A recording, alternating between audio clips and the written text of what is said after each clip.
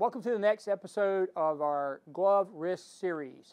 Needle stick gloves. Well, how are they tested? Real simple. Uh, sample cut from the palm, right here. Placed on a platen and a stylus, the diameter of a hypodermic needle is pushed through. Keywords, diameter of a hypodermic needle, pushed through. There's different types of puncture tests.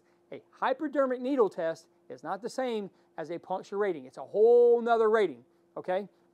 So now, what does that mean, okay? So when you're do, looking at a needle-resistant glove, okay, uh, you're considering things like, is it robotic? Does it make my hands feel stiff? Do I need uh, dexterity, etc., okay? So when do I consider using needle-resistant gloves? Well, if I'm working in a recycling facility or a MRF center, which is materials recycling facility, or even a medical sub, uh, company that does recycling.